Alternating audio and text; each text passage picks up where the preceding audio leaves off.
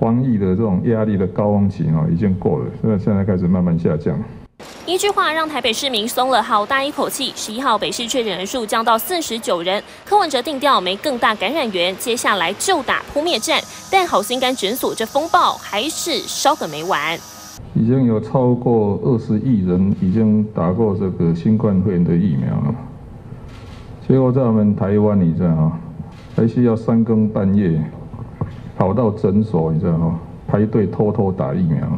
反正检调都来了哈。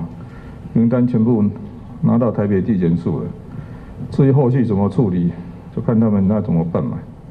柯文哲不公布，但名单早就在网络疯传，甚至外传有利人士要求他别公开。柯文哲否认到底，是没有人来跟我说名单的事情了。反正大家知道柯文哲这个人，哦，也不会讲来讲也没有用。好心敢死打疫苗，北市府上下乱成一团。就有议员拿出六月八号市府防疫会议内容，指出就是柯文哲下令九号前打完六百六十瓶疫苗才会出大包，查到底始作俑者恐怕就是自己。打完疫苗是我们的政策目标，但是任何人也不能因为有这个政策就违反相关的规定，任何人都不可能在呃有首长批准然后去做这件事情。这件事情就是啊我们正在做调查的内容，我们也很想知道为什么。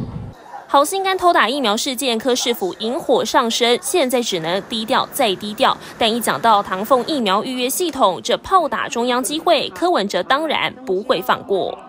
他是有来接下的，他说他这一次来不及做好了，所以这一次我们就自己想办法，就这样。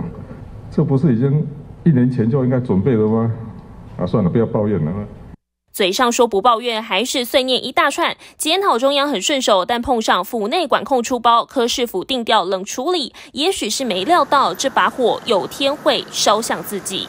关于新闻，刘伟学到品君特别报道。